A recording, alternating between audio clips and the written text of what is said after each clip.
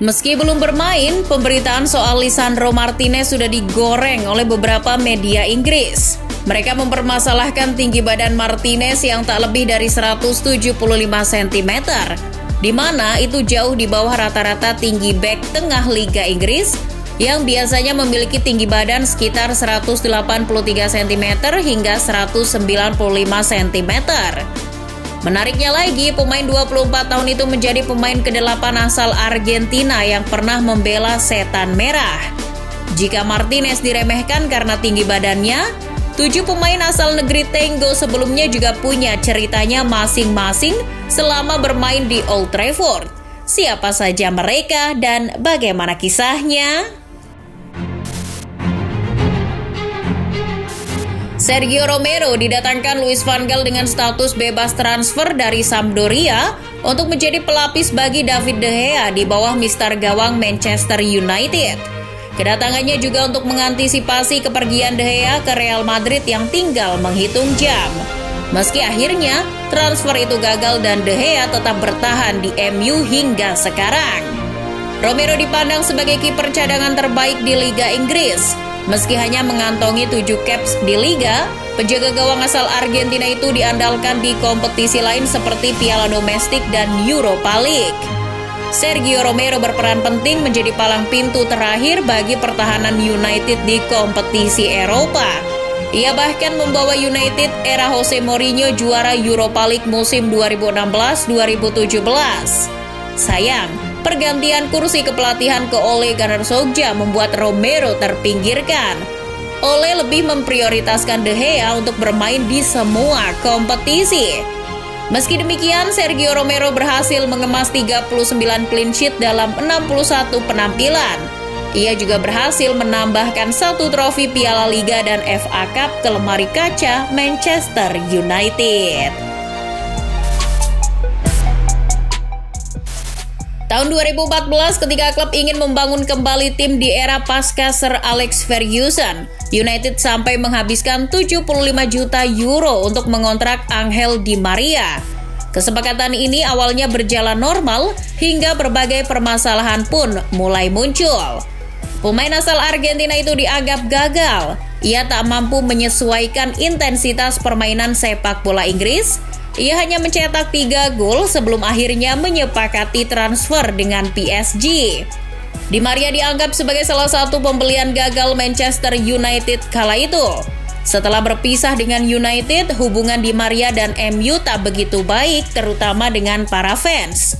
Maka dari itu ketika PSG bertandang ke Old Trafford dalam ajang Liga Champions 2018-2019, Di Maria tak disambut baik oleh fans setan merah.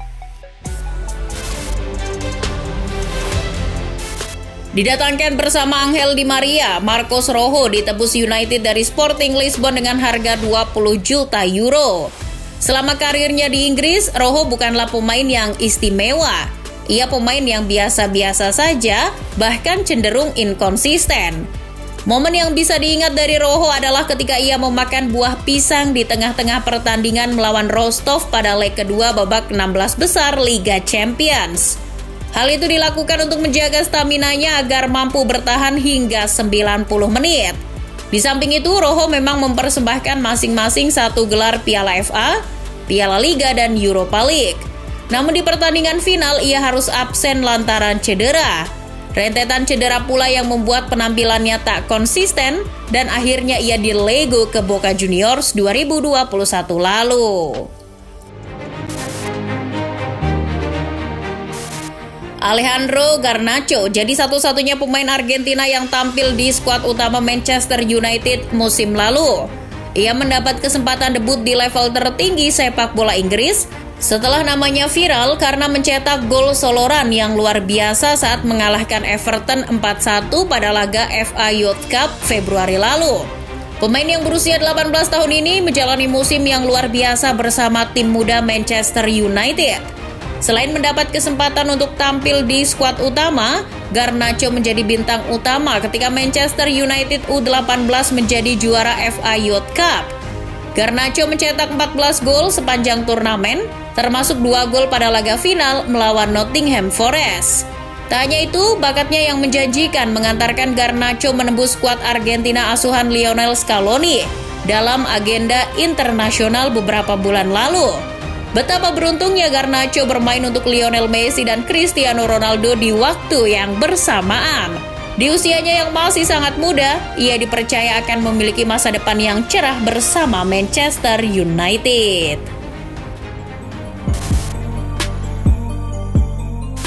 Jauh sebelum nama-nama tadi, pada tahun 2001 Juan Sebastian Veron lebih dulu datang ke Manchester United dengan status sebagai pemain termahal dalam sejarah Liga Inggris dengan bandrol 42 juta euro dari klub Italia Lazio. Veron luar biasa di Serie A, namun ia kesulitan ketika bermain di Inggris. Veron tak mampu menanggung ekspektasi besar selama di Old Trafford ia gagal bersaing dengan Roy Keane dan Paul Scholes di lini tengah. Veron total hanya bertahan dua musim dengan sumbangan 11 gol. Meski begitu, nasibnya tak separah di Maria. Veron masih menikmati kejayaan Manchester United dengan mengantongi satu gelar Liga Inggris musim 2002-2003. Datang dari PSG pada 2004, Gabriel Heinz langsung menjadi pujaan para fans setan merah. Heinz dianggap sebagai back serba bisa di zamannya. Kemampuannya itu membuat ia piawai memainkan peran sebagai back kiri maupun back tengah. Selain menjadi andalan Sir Alex Ferguson untuk mengawal pertahanan Manchester United, Heinz langsung memenangkan Player of the Year di musim pertamanya di Manchester. Sayang, Cedera lutut serius yang ia alami pada September 2005 membuatnya absen di sepanjang musim 2005-2006. Serangkaian cedera dan masa penyembuhan yang tak sebentar menghambat karir Heinz di United. Ia tak mampu kembali ke performa terbaiknya dan akhirnya pemain Argentina itu benar-benar kehilangan tempatnya ketika Manchester United mendatangkan Patrice Evra pada Januari 2006. Kepahlawanan Carlos Tevez dalam menyelamatkan West Ham dari jurang degradasi pada musim 2005-2006 membuat Sir Alex Ferguson kepincut untuk menambahkan pemain yang tak kenal lelah itu ke skuad Manchester Merah. Musim pertamanya bersama Setan Merah, Tevez langsung membentuk koneksi yang solid bersama Wayne Rooney dan Cristiano Ronaldo. Trio ini memiliki peran besar saat Manchester United berhasil mengawinkan gelar Liga Inggris dengan Liga Champions pada musim 2007-2008. Tevez jadi pemain Argentina yang sukses di Manchester United. Total ia telah mengantongi 5 trofi bergengsi termasuk 2 trofi Liga Inggris dan satu Piala Dunia antar klub. Selama berseragam MU ia juga menyumbang 34 gol dari 99 pertandingan. Namun setelah rangkaian kesuksesan tersebut, Tevez justru berkhianat. Ia memilih pindah ke rival sekota Manchester City dan merusak reputasi apik yang telah ia bangun selama di Manchester Merah. Ia jadi salah satu mantan yang paling dibenci oleh fans United.